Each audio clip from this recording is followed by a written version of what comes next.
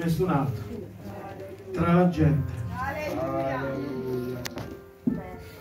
Il cieco di Gerico. Dove tutti quanti dicevano di rimanere in silenzio. Che Dio ama stare. Non avete trovato lo scrittore Marco? Eh? Luca o Matteo? Marco lo chiama Barnaba. E mentre lui sente che c'è gente, rumori di gente. Lui comincia a gridare, Gesù figlio di Davide, abbi pietà di me. Ecco, quello gli diceva, ehi, shut up. So di inglese, shut up. Sta zitto, non parlare. Non parlare, zitto. E lui, più lo dicevo di stare zitti, zitto, e più lui gridava. Sapete cosa ha fatto? Siccome Gesù ama stare tra la gente, ma Gesù ha detto, io non sono venuto per essere servito, sono venuto per servire. Molti hanno preferito rimanere in silenzio nascondendo il loro problema, il loro bisogno. Alleluia. A volte questo è quello che capita. Amen. A volte alcuni sono spettatori, mentre altri allodano, altri rimangono in silenzio nel banco per vedere cosa succede. Dio non ti farà cadere nulla. Alleluia. Alleluia. Alleluia. E sapete, Gesù sapeva il bisogno di quell'uomo e gli ha detto, cosa vuoi che io ti faccia? E lui ha detto che io recuperi la vista. Alleluia. Se altri avessero detto, Signore, opera nella mia vita.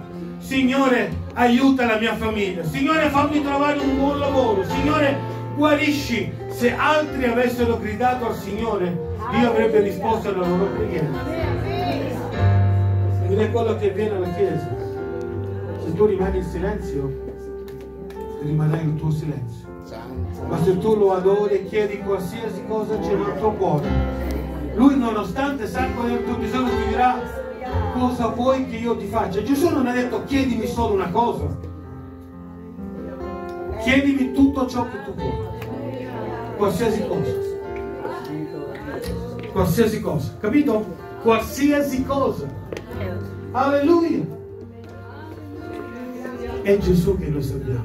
Amen. Qualsiasi cosa. Signore, sto attraversando un periodo difficile della mia vita. Beh, se noi riparliamo con Gesù, Lui ci dirà non ti preoccupare.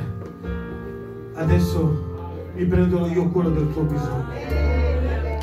E prima che te ne accorgerai, vedrai che la tua vita prenderà una direzione diversa da quella che era prima tra la gente.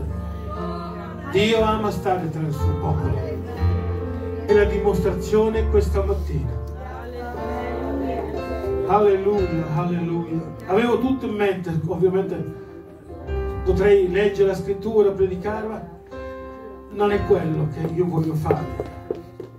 Ma sono detto, Signore, io stamattina ti faccio una richiesta voglio che sia tu a prendere il controllo fino al primo momento del suo vita. Ho detto, Signore, se tu prenderai il controllo, io non farò nulla. Beh, fate questo genere di preghiera anche voi, così di predicare. Alleluia, quando c'è Gesù, vedete, la sua presenza, Dio battezza con lo Spirito Santo. Questa è la prova, è la dimostrazione di quando a volte qualcuno dice, visto è venuto quel predicatore e altri hanno ricevuto lo Spirito Santo perché è venuto quel predicatore. Questa è la dimostrazione che il predicatore è zero, ma è Dio che è tutto. Alleluia. Dio tutto.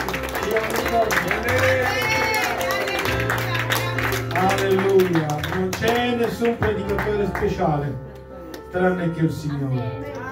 Alleluia. E prima che voi andate via, non possiamo andare via a mani vuote, come dire a mani piene.